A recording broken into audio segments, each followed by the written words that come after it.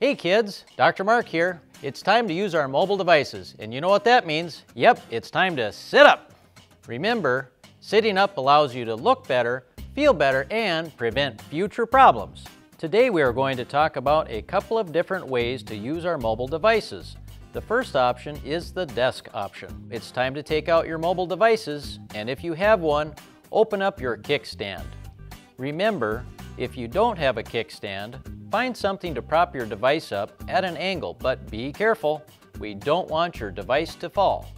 Now, slide your device towards you slowly, as you want to keep your arms as close to your body as you can. Last but not least, sit up. Slide back all the way in your seat, sit tall with your shoulders back and head held high. The second option would be if you're not in a desk and working on the floor.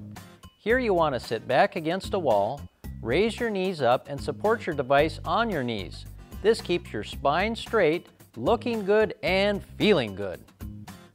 There, you look great and now you're ready to learn and have some fun.